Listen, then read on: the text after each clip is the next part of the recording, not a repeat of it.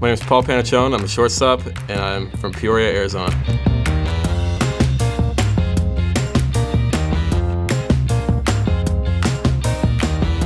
If I could play another sport, basketball. Obviously, they got the good crowd.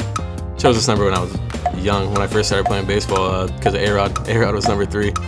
He was a good role model back then. But best advice I was given, uh, don't take advice. Every movie I see, I think, becomes my new favorite movie. So I, I like everything I see. Favorite song, uh, I think it would be Baby by Justin Bieber.